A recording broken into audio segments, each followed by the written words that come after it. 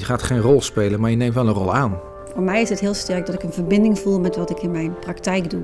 Dat je loopt, dat je staat, dat je kijkt, dat je hoort. Inspirerend, ja. Spelsimulatie Bloei brengt deelnemers in een situatie waarin ze uh, als landschapsarchitect een ontwerpvraagstuk gaan aanpakken. En de reden om te kiezen voor een, een spelsimulatie is omdat het de werkelijkheid zo goed mogelijk benadert, uh, maar wel in een setting waarin je alle interventies kunt doen. Dus het is eigenlijk een gecontroleerde situatie. Dus je krijgt niet een rol, je blijft gewoon jezelf en je wordt even landschapsarchitect. We starten zo'n spelsimulatie altijd met een introductie. Welkom bij Spelsimulatie Bloei. En die introductie bestaat uh, enerzijds uit nou, toelichting van het doel van het spel, mensen een beetje inpraten. En dan uh, ergens halverwege die introductie uh, schakelen we om naar architectenbureau Bloei. En dan gaat eigenlijk de spelsimulatie beginnen.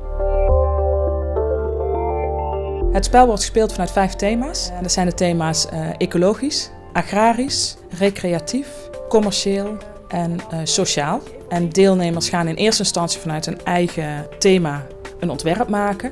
Maar uiteindelijk is het de bedoeling dat er een totaalontwerp komt. Waarbij het niet gaat over welk thema is het beste of het, of het minst. Het gaat echt over een integraal ontwerp vanuit waarin al die thema's meegenomen zijn.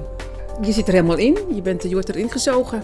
En uh, ik vind dat toch een beetje competitie-element vind ik wel, uh, wel leuk van.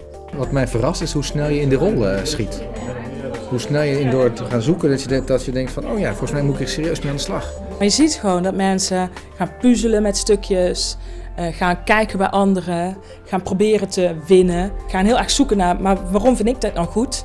Want je hebt de recreatie, we hebben het uh, commercieel, ze hebben dat ecologisch. Ja. Dan is een trekkerpad loopt er heel raar doorheen. Als ik hier zou wonen, dan lijkt me dat hier niet de meest plezierige omgeving. Het doel door het spel is dat als je het denken en handelen van de landschapsarchitect toepast op eigen vraagstukken, je tot andere ideeën en andere inzichten komt als dat je normaal gesproken zou komen. Je gaat op een andere manier denken. En ik vind het leuk om na te denken hoe kun je verbinden de woonwijk met het uh, bedrijventerrein. Dat is mooi.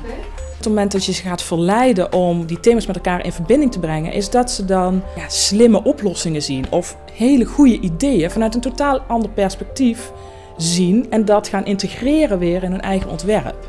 En dat is ja, wel echt heel mooi om te zien. Ik denk dat het wel bijdraagt aan uh, in ieder geval begrip voor elkaars uh, gezichtspunten. Dat een spel dus uh, echt verleidt tot aan de slag gaan en dan daarmee ja, volgens mij ga je dan leren. Dat heb ik geleerd. Het is heel leuk om te doen. Het is echt leuk om te doen.